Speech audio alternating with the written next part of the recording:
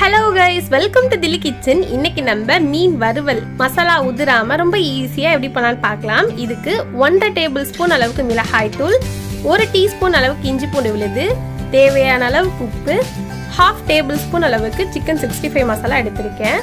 கொஞ்சம் கொஞ்சமாக தண்ணி விட்டு இந்த மாதிரி நல்லா கலந்து எடுத்துக்கலாம்.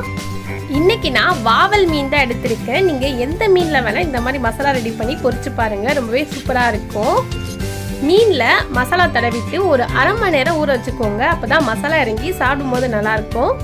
தோசைக்கல்ல ரெண்டு குளிக்கரண்டி அளவுக்கு ஆயில் சேர்த்துருக்கேன். இப்போ நம்ம மசாலா தடவி வச்சுருக்க ஒரு ஒரு மீனாக சேர்த்து பொறிச்சு எடுத்துக்கலாம். இந்த மாதிரி மீனை திருப்பி விடும்போது பொறுமையாக திருப்பிட்டுக்கோங்க. இல்லைனா வந்து மீன் உடஞ்சிரும். ஃப்ரெஷ்ஷான மீன் வாங்கினீங்க அப்படின்னா வறுவல் குழம்பு எல்லாத்துக்குமே ரொம்ப நல்லாயிருக்கும். கண்டிப்பாக இந்த ரெசிபியை ட்ரை பண்ணி பாருங்கள் தேங்க்யூ